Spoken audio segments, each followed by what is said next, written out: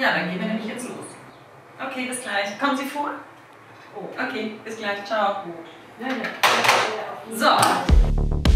Ich bin Bettina Stark-Watzinger. Ich bin parlamentarische Geschäftsführerin der FDP-Fraktion im Deutschen Bundestag. Und das ist mein Prêt-à-Portrait.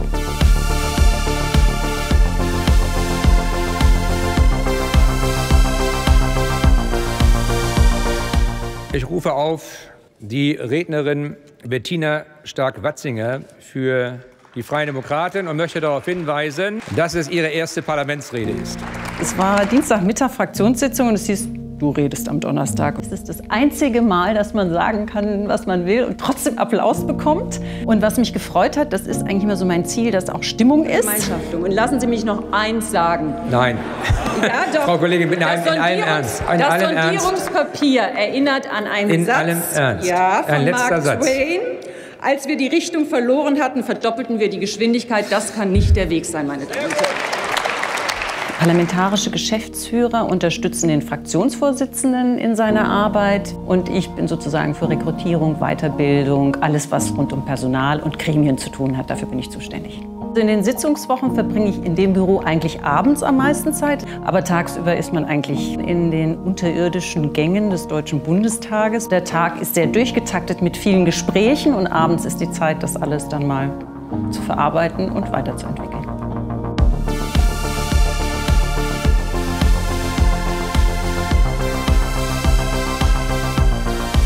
Politik spielt in meiner Familie mittlerweile eine große Rolle, ähm, weil natürlich ähm, Politik nie aufhört. Man kommt nach Hause und äh, man ist von der Sitzungswoche noch ähm, erfüllt und muss darüber reden oder man bekommt Fragen gestellt.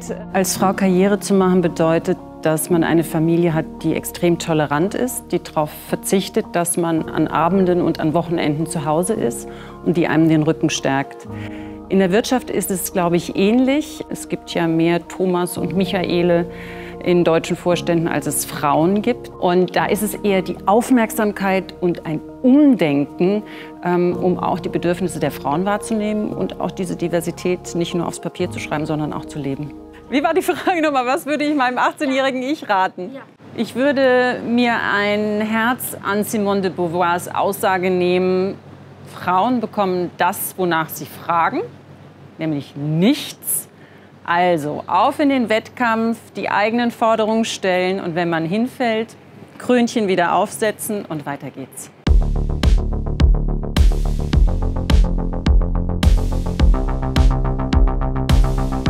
Die größte Herausforderung in Deutschland ist, glaube ich, unsere Einstellung, unsere Haltung. Wir haben viel zu viel Bedenken, dass etwas schief geht. Wir müssen mutiger sein, dann stehen wir uns auch weniger im Weg.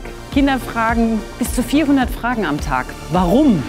Ähm, eine Frage, die einen als Eltern manchmal quält, aber diese Neugier müssen wir uns behalten. Und deswegen müssen wir ja in unser Bildungssystem investieren, aber vor allen Dingen müssen wir uns überlegen, welche Bildung brauchen unsere Kinder heute, damit sie die Zukunft verstehen. Ich glaube, der Staat muss eher auch ein Partner sein für die Menschen. Wir zahlen viel Steuern, ähm, wir brauchen auch Menschen, die Steuern zahlen, aber wenn es um Verluste geht, wenn es um Risiken geht, da lässt der Staat uns manchmal allein. Aber wir müssen auch mal an die nächsten Generationen denken und ich glaube, im Augenblick verpassen wir unheimlich viel, unser Land zukunftsfähig zu machen. Wir müssen viel mehr den Menschen ermöglichen, dass sie Privatkapital haben, dass sie Vermögen aufbauen und ein Altersvorsorgesystem so aufbauen, dass es in Zukunft auch nachhaltig ist.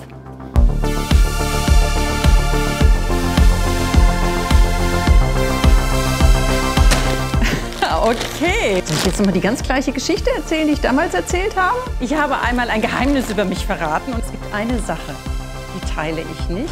Und das sind weiße Gummibärchen oder Ananas-Gummibärchen. Oh, ach, das riecht man doch.